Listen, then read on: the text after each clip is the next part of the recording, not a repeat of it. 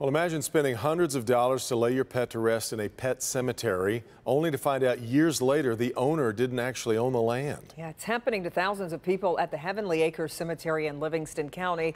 They're looking at hundreds, even thousands of dollars to remove their pet's remains. But as Jason Colthorp reports, that's if they can find the grave. There are about 74,000 pets buried out here, and the owners of them have been notified.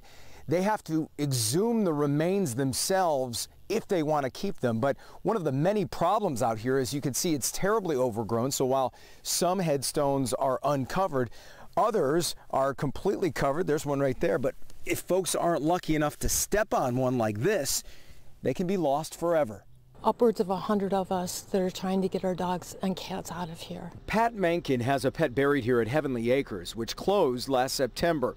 She and many others were sent a letter by the law firm representing the current landowners informing them of just nine specific days with four-hour windows to remove their pet's remains. How would you describe that letter? Very threatening. They also have to waive any future liability to do it. They're asking um, us to release them from any liability that um, they might have here, but they're causing us extreme liability by even going back there and trying to get our pets out. It's very dangerous back there. Yesterday was the first day to dig up remains, and Pat says one couple in particular was quite troubled. They had leeches were on them, mosquitoes were were biting them and they could not find their dog. They spent several hours out here looking for their dog and their dog has a headstone.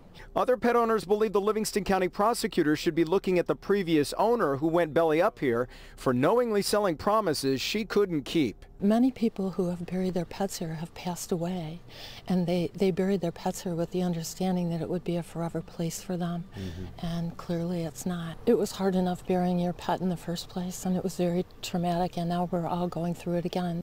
There are a couple court dates coming up, but the, the pet owners I've talked to aren't very optimistic about that. As for getting their pets' remains, well, they've been told they have until September 7th to do that. In Howell today, Jason Colthorp, Local 4. All right, Jason. Well, the former owner of the cemetery currently owns a pet cremation service. She didn't return our call, and the lawyer who sent the letters to pet owners also is not allowed to comment publicly.